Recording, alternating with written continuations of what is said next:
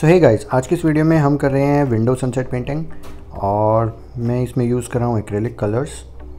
तो पहले मैंने ये लाइट शेड बनाया था ऑरेंज एंड येलो और मेजेंटा को मिक्स करके and then I have applied orange and yellow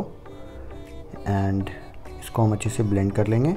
And at last I am using orange colour और इसके बाद मैंने पर्पल कलर से इसमें क्लाउड्स बनाए हैं। And now I'm adding some clouds with the orange and now I'll be using black to make the city and the window